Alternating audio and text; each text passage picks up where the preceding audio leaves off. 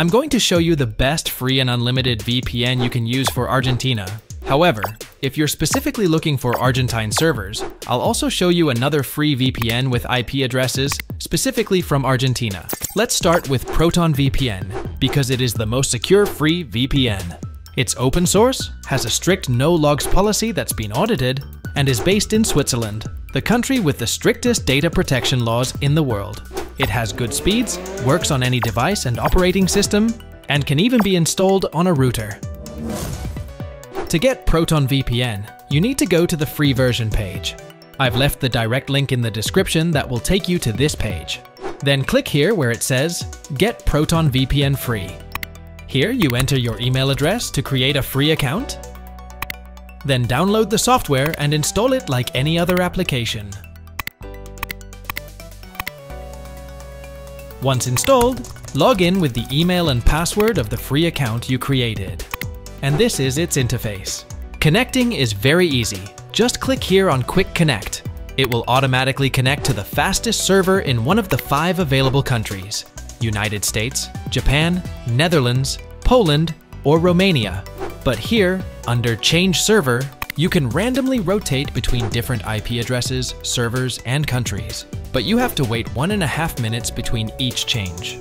Although Proton VPN's free version is very good, its premium version is obviously much better, with more than 4,900 high-speed servers in 91 countries you can connect to, including Argentina.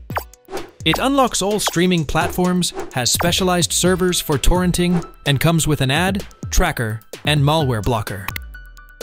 But if you need a free VPN that specifically has IP addresses from Argentina, Tuxler VPN is another alternative. It's a free and unlimited residential VPN with 300,000 IP addresses in 116 countries to choose from, including Argentina. With Tuxler VPN's free version, you can bypass any geo restriction, IP blocks, and internet censorship. It's also compatible with peer-to-peer, so it supports torrent downloads, Yes, it has many advantages, but be careful, it also has disadvantages. Such as a questionable privacy and security policy, it's only available for Windows and Mac, it doesn't have mobile device apps, it's quite slow, and it only allows 10 location changes per day. If you want more details, I've left the full review in the video description. To get Tuxler VPN, we do it from its official page. In this case, I have Windows, so I will select Windows. Then I click where it says download for free.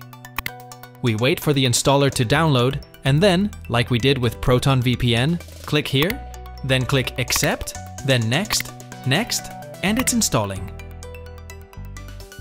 Now click on Finish. And this is the Tuxler VPN interface. To connect, click here, and as you see, it connects automatically and randomly. But here, you can choose Argentina. And by clicking here, you can also change the city. However, it changes randomly. The ability to select a specific city is only available with the premium plan. To disconnect, we do it the same way we connected, click here, and that's it, we have our real IP address back.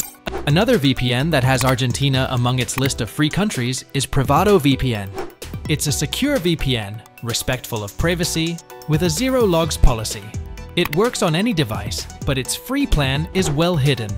The link in the description will take you to this page, where you need to click here where it says Get Privado VPN. Scroll down a bit and click here, where it says Try Free Plan.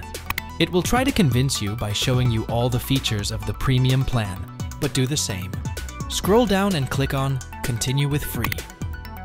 Here, you can finally choose the free plan, and in this box, enter your email address, and then click on Create your free account. Then you'll need to verify your email, download the software, and install it.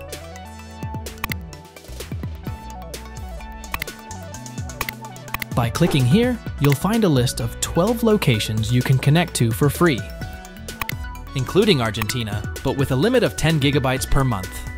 I hope this video has been helpful and I'll see you in the next one.